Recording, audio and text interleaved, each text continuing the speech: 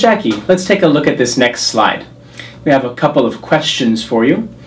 The first one here says, are you usually early, on time, or late for appointments or work-related events? What do you think?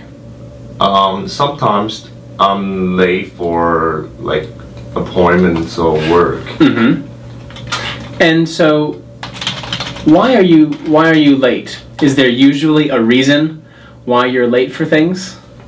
Yes, you know, sometimes I just procrastinate. Ooh. I do, you know, the last minute. I see. Procrastinate is a good word. I like this word. A lot of people have this habit. They procrastinate things. There's another way to say this uh, in English. And in English, we say to put something off,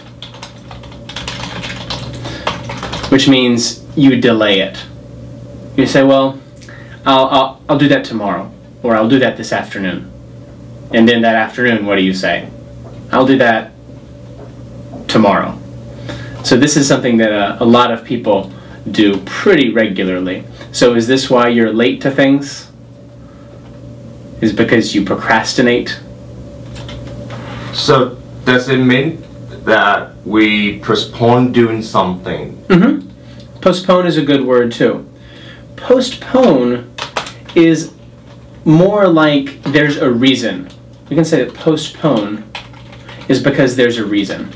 So let's say the game was postponed because of the weather. Okay, so if you're playing uh, a football game or a tennis game and it rains, then you have to delay the game. There's a reason that it was postponed, or the meeting was postponed because the boss is not here today. But when you procrastinate, it's usually just because you're lazy. There's no reason to do it.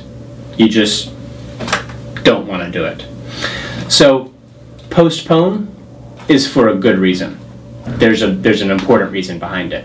Putting something off is a bad thing. Do you understand? Sure. Okay. And then this word related, this phrase work related events. Do you know what this means? Work related means um, something about your job. Very good. We can use this in a lot of different ways. So we have school related or health related, which means something about health or something about school.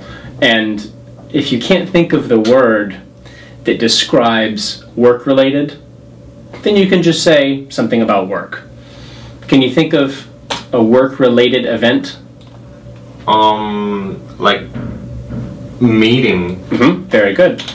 Do you have a lot of meetings where you work?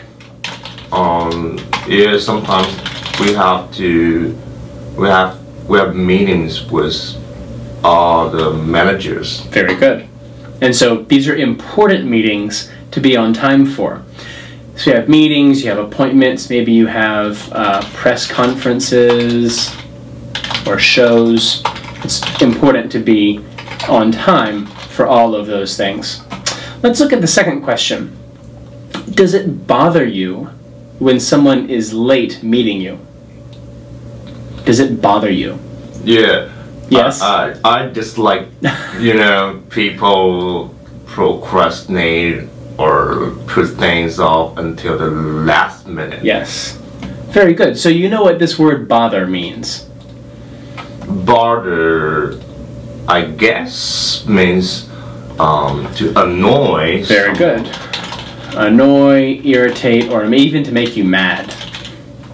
And so some people look at that word and they think that it's uh, spelled wrong because it looks like brother without the R. Yeah. But it is bother. It's not. It's not misspelled.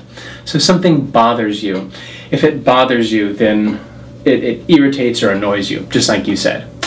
So if it does, if someone is always late meeting you, do you normally tell them how you feel? Mm, most of the time, I conceal my Mhm. feeling about it. I mean, I just ignore it. Uh-huh. Ignore it. Um, but if I cannot stand anymore, I'll be very furious.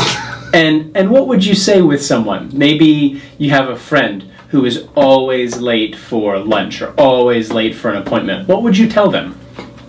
um, I will say, like, hey, so how can I help you if you have any problem or something? Yeah. So I, I, I will fix it. Uh, I will try to solve this problem and I'll tell him indirectly. Very good. So that's maybe a little bit nicer than saying, "Hey, you're always late." So this is called. Do you know this? Do you know what tact is?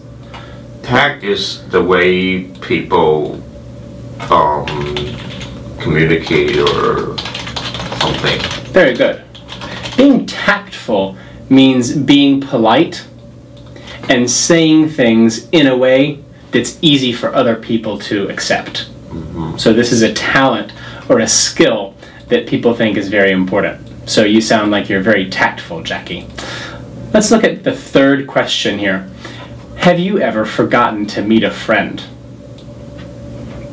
Mm, uh, actually, I have, I have, I haven't had this experience. Well, good for you. So, you always remember.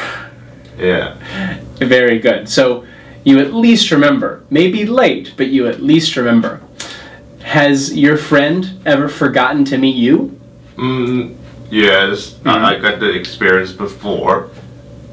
One of my best friends for, forgot to meet me uh, at, at, at the restaurant,